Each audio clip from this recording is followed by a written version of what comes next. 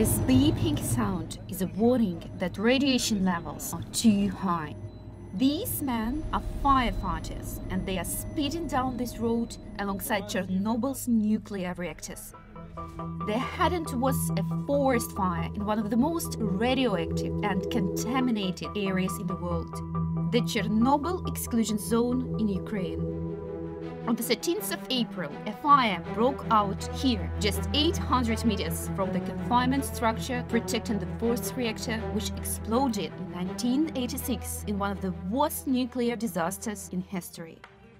Ukraine's firefighters agreed to speak to the BBC anonymously, scared of losing their jobs. The dosimeter showed a level 100 times greater than the radiation I was shouting at my colleagues, stop working there, get back. In 10 or 15 years, we'll find out what we've been inhaling. What the consequences will be. It's unclear now. This is deadly serious. According to our news, everything was under control. But how under control was it in reality? The Ukrainian authorities acknowledge there is a problem, but they insist it's under control. Станом на зараз Відкритий вогонь у зоні відчуження не спостерігається, та полягає в тому, що ситуація там контрольована. But, in fact, there were a record amount of forest fires inside Chernobyl's exclusion zone in 2020. Hundreds of firefighters from cities across the Ukraine volunteered to go into the zone to fight the fires. They were sent in with poor equipment, many without any forest fire training, and faced a communication blackout on the ground.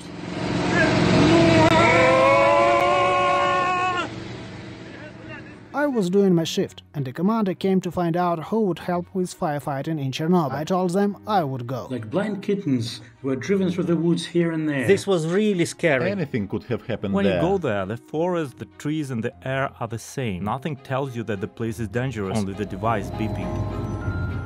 These men stopped forest fires, engulfing the site of the Chernobyl reactors and the nuclear waste storage facilities. But how did the wildfires get this bad? And is this another nuclear disaster waiting to happen?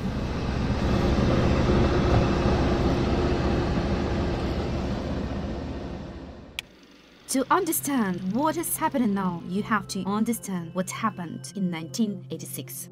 During the Soviet era, this nuclear reactor near the town of Chernobyl exploded after a safety test went wrong, spreading radiation over thousands of square kilometers in different directions. The firefighters and initial responders died from radiation exposure. It took years to clean up. People of Ukraine and other Soviet countries made huge sacrifices to contain the radiation. But levels remained too high to be safe, so two exclusion zones were created, one in the Ukraine and the other in Belarus. In Ukraine, no one was allowed to leave in or even enter the zone except the authorities. And that is how it has stayed for almost 40 years. Exclusion zones, a huge area, it's a radius of about 30 kilometers out from the plant, and it's really unevenly contaminated. The radioisotopes that were emitted from the plant that are still there, these long lived ones like radioactive cesium, radioactive strontium, isotopes of plutonium, and, and americium. These radioisotopes can take thousands of years to decay. Without humans, the zone has grown wild and is now one of the most biodiverse areas in Europe. If it was just left undisturbed, the threat would be contained. But something else has been happening since 1986 climate change. And this is a problem because the exclusion zone is almost entirely covered in forest, and some of them are radioactive. These pine trees were planted in the Soviet era in dense monoculture plots.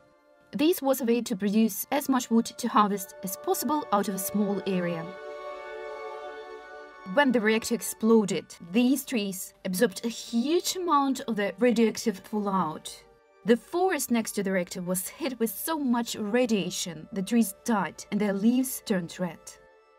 It became known as the Red Forest. Climate change is weakening forests like this. They are man-made plantations that can't withstand the dry and hot conditions. Dead trees are piling up and piling up. It's called fuel. If you don't clear it, it will literally fuel wildfires. According to scientists at NASA, forest fires around the world have been increasing because of climate change. They've seen the devastation this has caused in places like Australia and California. But fires have also been getting worse in Europe. In fact, the dry, hot, and windy conditions, perfect for forest fires, have been increasing every year.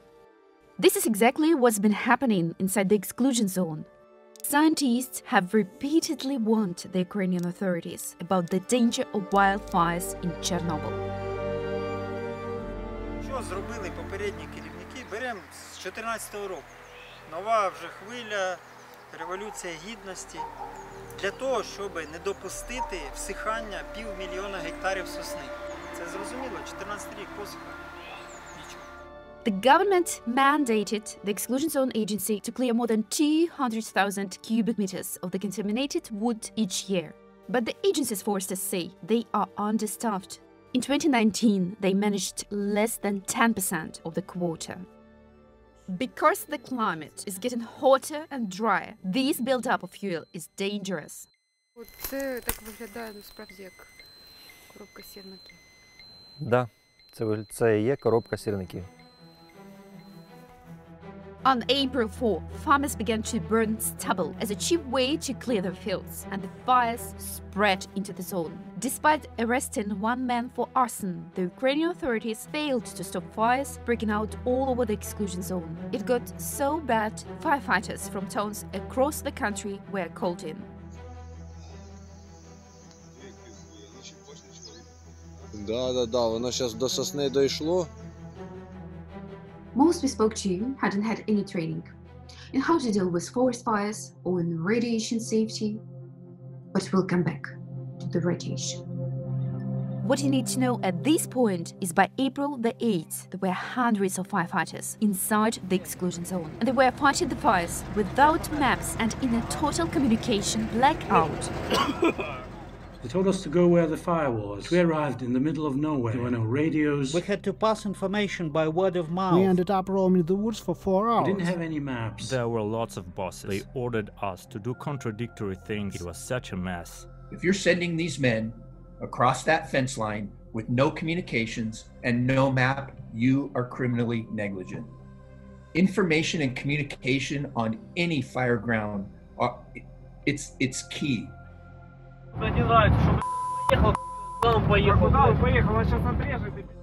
Somewhere in there, there's got to be an officer that says, stop.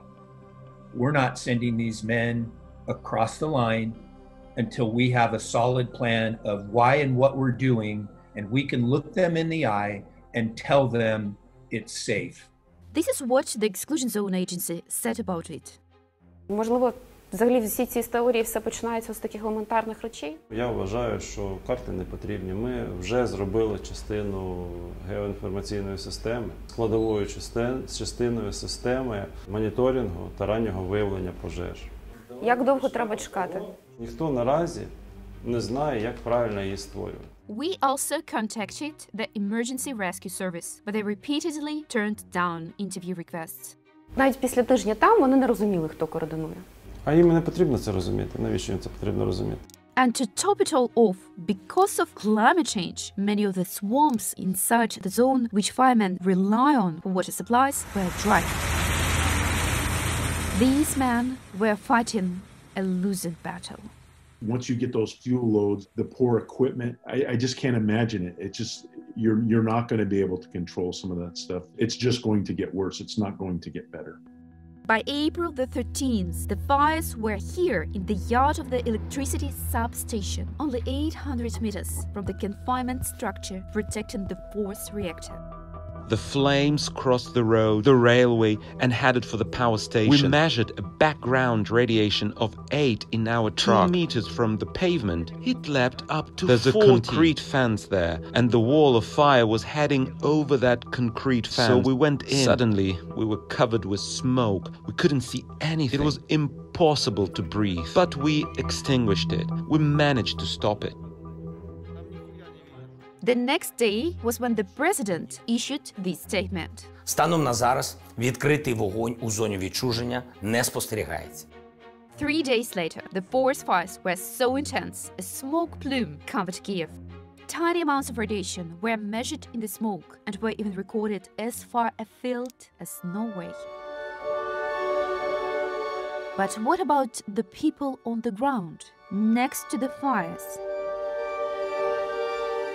The firefighters in the zone are exposed to radiation in three main ways. Externally, from the radiation in the contaminated forests around them.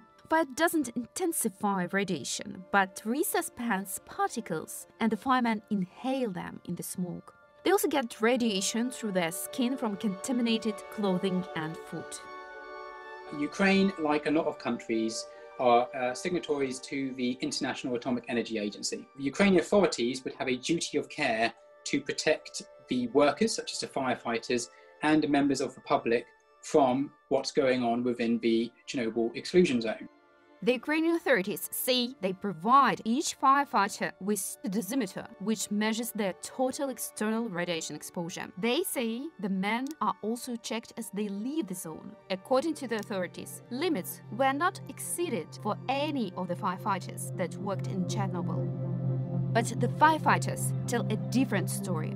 Maybe for the TV camera they did some measurements, but I didn't see any devices. We devices. sat on an armchair. Then we were told normal. And that was it. I mean, they had to show less radiation exposure than we really got. I bought fire boots, fire clothes, and I left all of it in Chernobyl because, you know, my safety is in my own hands. I still don't know what total dose I got. These firemen are in the zone for at least a week, sleeping on the ground, digging up the earth, inhaling smoke without respirators. The authorities have yet to fund a study which mimics the exact conditions these firemen face. But remember this video? The firemen sent us the readings they took in April. What about the amount they inhale? Well, that's harder. There have been some experiments in the exclusion zone looking at radionuclide resuspension rates in the fire. These fires were not as large and intense as those in April, but it gives some idea of what the firefighters could be breathing in. The amount of radiation absorbed by a person is measured in units called sieverts. The international scientific community agrees that below this level, 100 millisieverts, it isn't statistically possible to detect increased rates of cancer above the background number of cancers in the general population. Having a CT scan in hospital would give you a dose of about 10 millisieverts and a transatlantic flight a dose of 0.1. If you go above that 100 millisievert mark, the risk of cancer increases as the dose increases. Here are the levels the firemen who responded to the regional Chernobyl disaster were exposed to, and here are the levels today's firefighters were measuring during their time in the zone.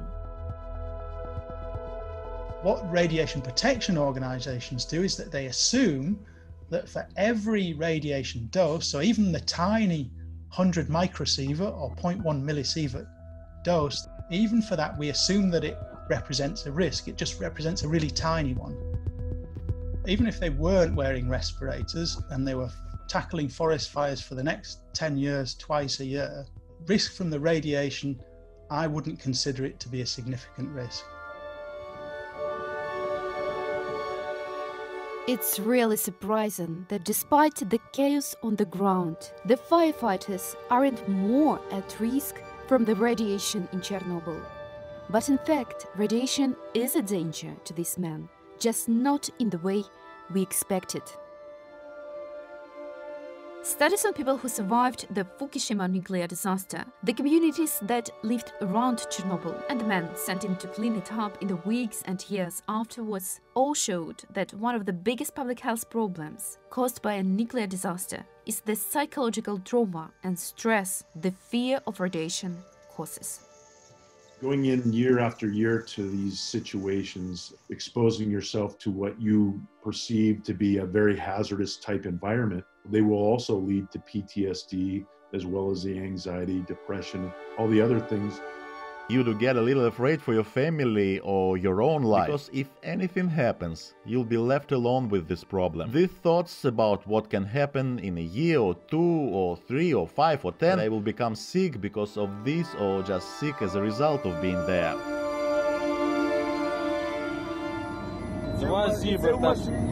Це в машині в 10 разів перевищає зараз. Ukraine's firefighters think they are being exposed to high levels of radiation, levels that could kill them. And they are volunteering to go in anyway. The Soviet authorities lied to people about the risks they faced in 1986, and Ukrainians are still recovering from the trauma of those lies and what happened at Chernobyl. It's what makes the present day lack of care even harder on the firefighters. Every single one of us in this world owes those firefighters in the Ukraine better. And the role the firefighters play is only going to get more important. This area, shaded in red, shows just how much land around Chernobyl's reactors was damaged by fires in the spring of 2020. And wildfires are getting worse and worse in Ukraine. Although the new safe confinement structure at Chernobyl is designed to withstand a fire, that's not something you would want to put it through. There's reprocessing of nuclear waste at Chernobyl, and fire has to be something, and I hope it is something that's high on the minds of Ukrainian authorities. In a country still in conflict with Russia and struggling economically, climate change makes the challenge harder every year. And the safety of Chernobyl once again rests with Ukrainians willing to man the front line.